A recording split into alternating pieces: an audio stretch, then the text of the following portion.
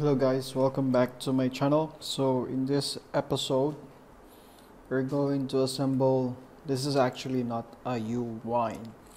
Instead, it is actually a U-Wing starfighter from the Rebel Alliance in Star Wars.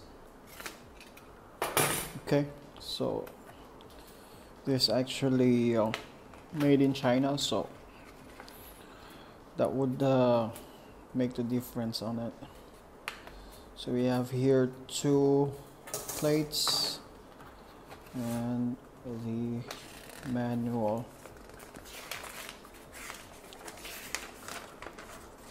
Okay it's only one page so probably would finish this about one to two hours. Okay so without any further delay let's get started.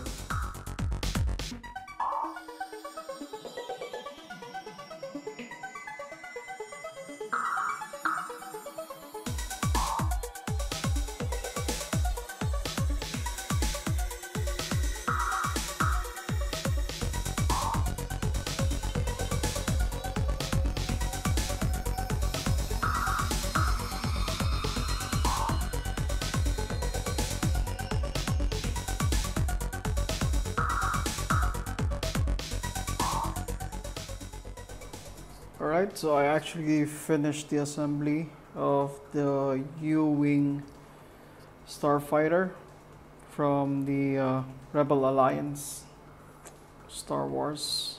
It's actually kind of cool. There's the uh, boosters, four boosters, and the back or the rear view. There's the top view, front view, and the bottom view.